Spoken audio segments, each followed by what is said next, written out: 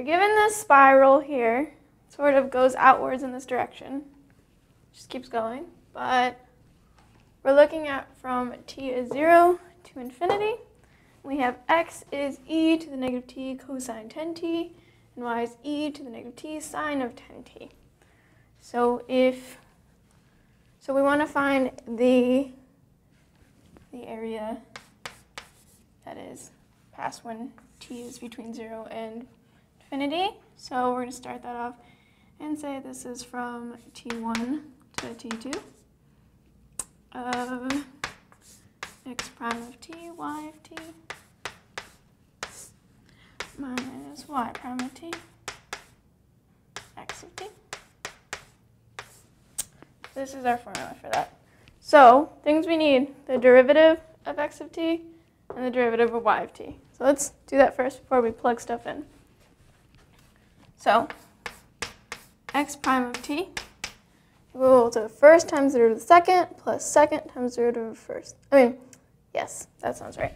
So first, e to the negative t times the derivative of cosine 10t. That's 10 sine, oh, I should do it slowly. So cosine, the derivative of cosine is negative sine of 10t. And then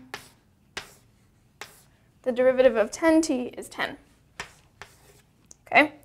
Then plus the derivative of e to the negative t is negative e to the negative t times cosine 10t.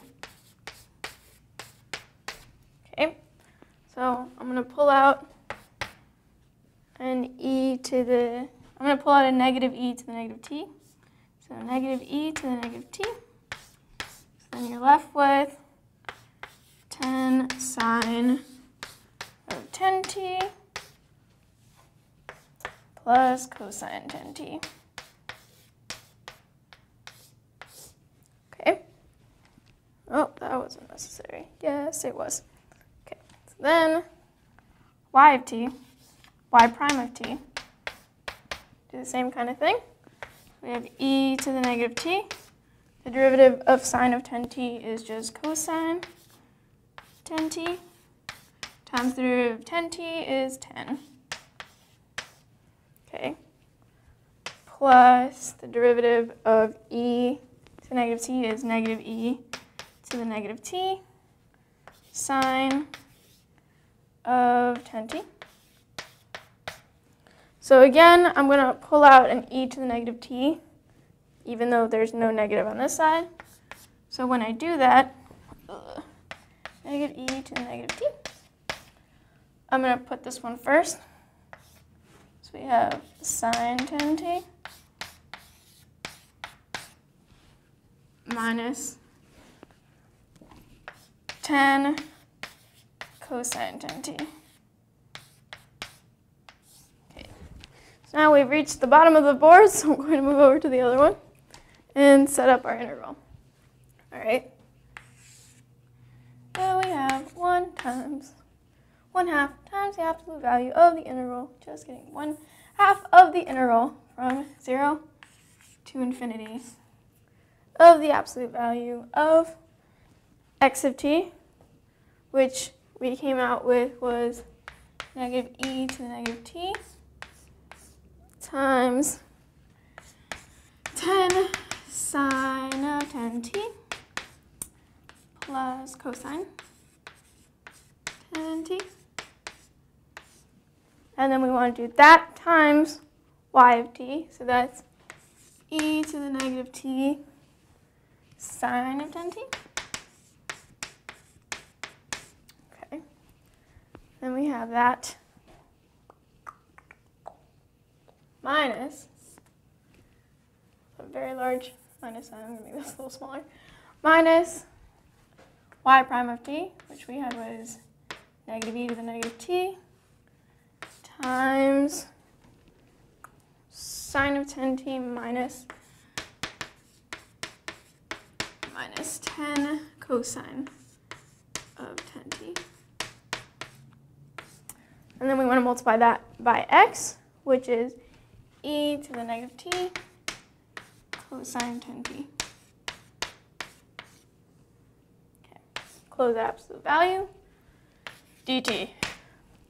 Right, so we're gonna combine some terms and get rid of things, it'll be great.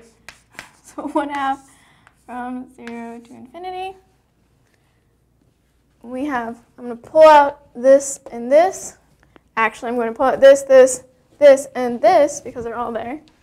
So I'm just gonna put it here, negative e to the negative 2t, because e to the negative t times e to the negative t is e to the negative 2t.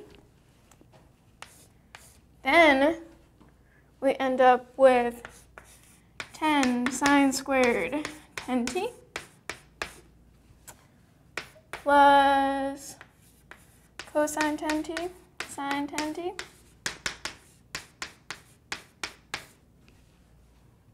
minus all right minus cosine 10t sine 10t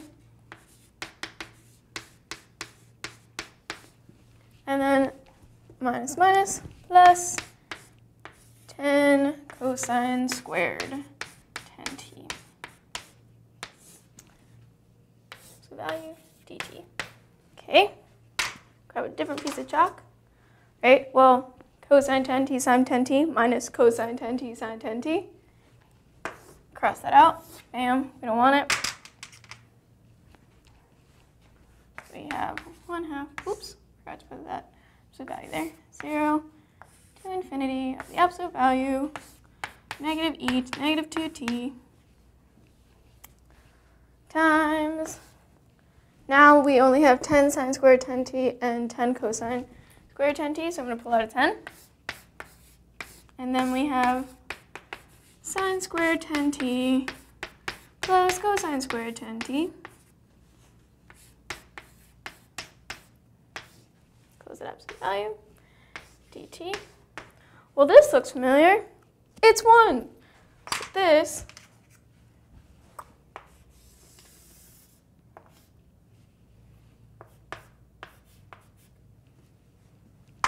Okay. So, 1 half times the absolute value from 0 to infinity of, we just have the absolute value of negative 10 e to the negative 2t dt. Okay? So let's get rid of that absolute value.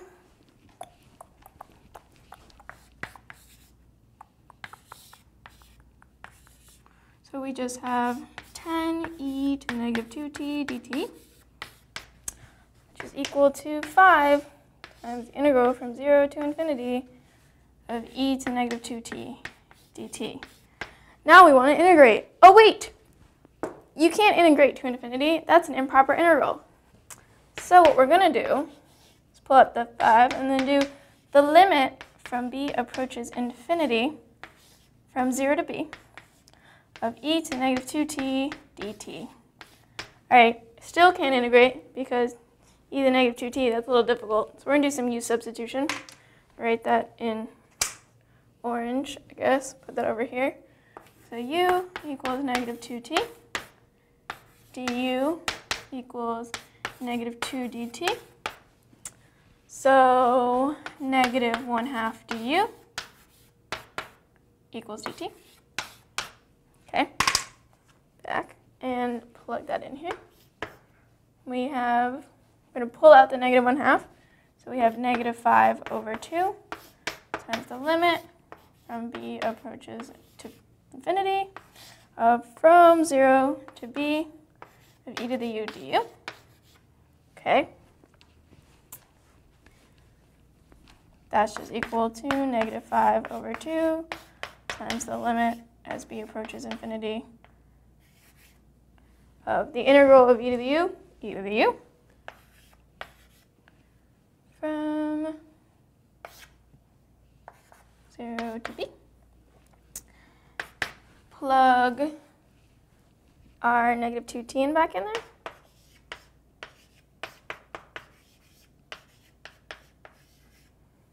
of e to the negative 2t. Okay, so now let's plug this in.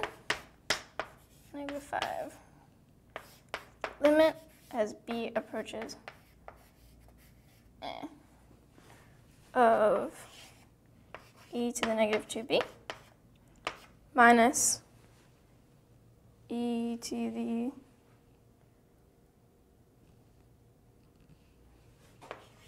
e to the 0. And that's just, that's right, okay, negative 5 over 2.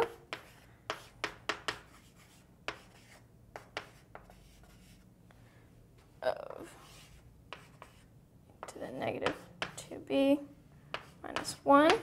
Okay, so then as b approaches infinity, e to the negative 2b just becomes more and more negative, and since it's smaller and smaller, and just becomes 0. So we end up with 0 minus 1. So negative 5 over 2 times 0 minus 1, which is just 5 halves.